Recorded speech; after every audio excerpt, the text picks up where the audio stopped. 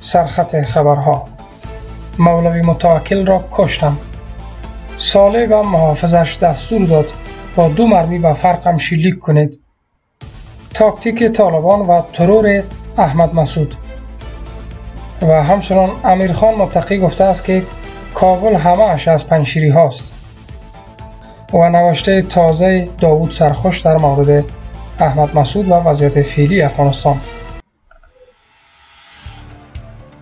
سلام به کانال ما خوش آمدید. امیرخان متقی می‌گوید که کابل همش را پنشیری گرفته.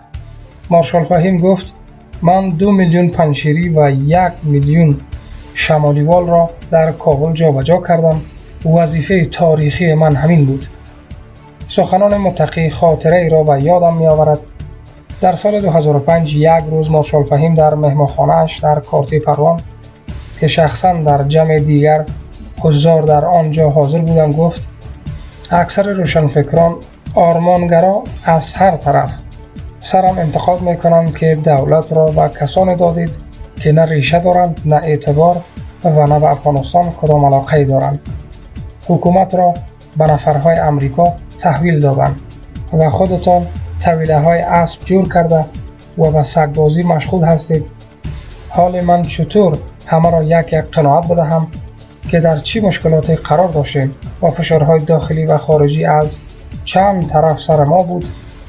سپس رو به من دست تکان داد و افزود.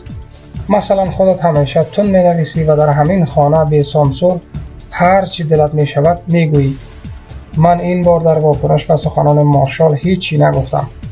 فهیم خان دست و صف هزار نشسته در کرسی ها دست تکان داد و گفت تأثیر کار را که من کرده ام اگر شما نفهمید.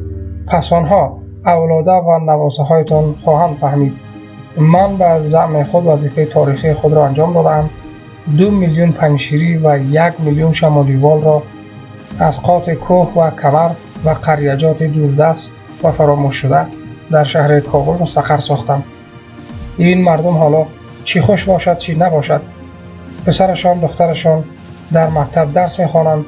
راه و رسم زندگی مدرن را یاد می‌گیرند چشم و گوششان به حقشان باز می‌شوند تعامل و مدارا را در زندگی شهری می آموزند تحصیل می کنند و به مرور در نظام حکومتی جای می گیرند. وقت انتقاد می کنید این قسمت گپ را هم یادآوری کنید. اکنون وقت امیرخان متقی می که کابل همه اش را پنشیری گرفته در عمق گفتارش یک سوی نیت یک دریغ و یک دوزخ انتقام زبانه می کشید. ببینیم که خلق پیروز می شود یا گروه نیابتی. در 20 سال اکثر مردم بنابر انگیزه ها موجی و یا ناموجی بر پنشیری ها باران انتقاد باریدند اکنون سوال بود و نبود افغانستان است.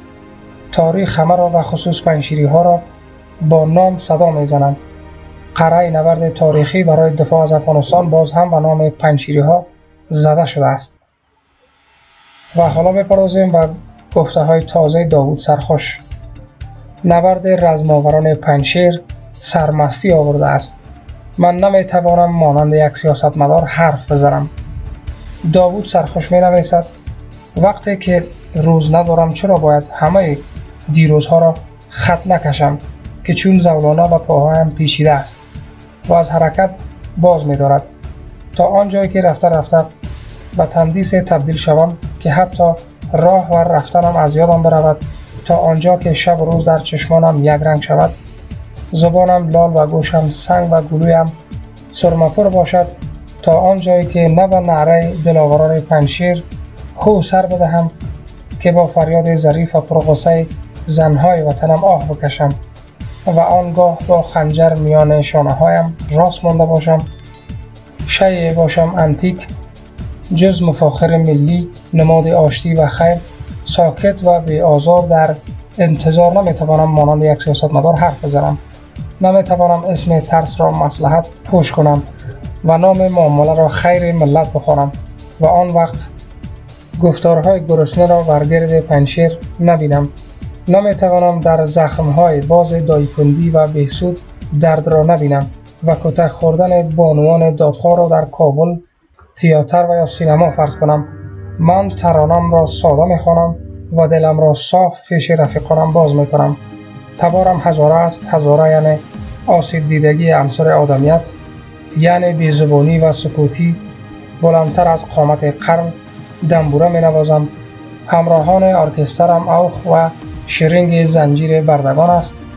دل تنگم دلتنگ نعره بلنده که تمام طول و پهنای سکوت صد ساله را بپیماید و با جان بابا و پامیر در آمزد شرمنده ام شرمنده غمهای بزرگ و بسیار آدمهای سرزمین و صدای نارسا و زبان قاصر و توان اندک خود من در گوشه امن و در دور دنیا کوچ افکندم همانند هموطنهایم شمشیر داموکلیس بر فرقم آویخته ندارم و این را به خوبی درک می کنم به شعور مردم باور دارم و به تصمیمشان صادقانه احترام می‌گذارم.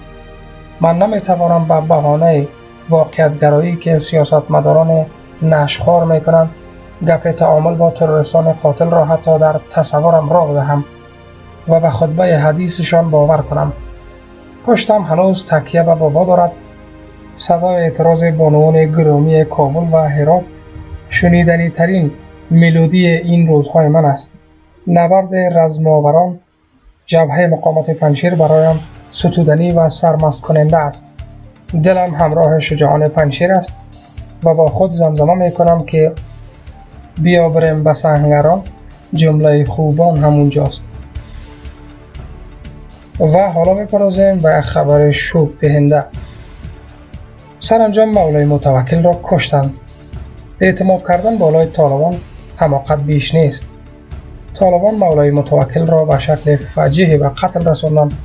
ویدیوهای از قتل این عالم دین به دسترس چند صفحات اجتماعی قرار گرفته است که قابل نشر نمی باشد گرفته شده از برگه خبر تازه افغانستان. این در حال است که پس از اینکه در پنشیر تهاجم طالبان روز به روز گسترش یافته است. امرالله صالح و محافظش دستور داده است. پیش از رفتنم به پنشیر و رئیس محافظانم بالای قرآن قسم داد که آخرین دستور مرا انجام دهد.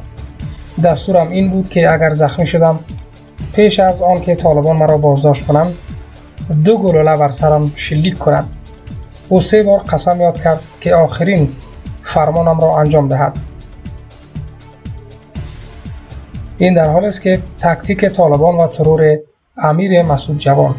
مدیریت طالبان قسم شده است که با استفاده از نیروهای بومی شمالی و مشخصات و نشانه های این سرزمین که گویا ما مقاومتگران هستیم و به کمک مردم پنشیر آمدیم قصد ترور جان چندین تن بخصوص آمر صاحب احمد مسعود رهبر مقاومتگران دوم را بر عهده دارند بخش تشریفات و جذب نیروی اضافی و کمکی در جبهه مقاومت این مسائل را جدی بگیرد و نگذارید دشمن در کمترین فرصت شکار خود را خدای نخواسته بکنید.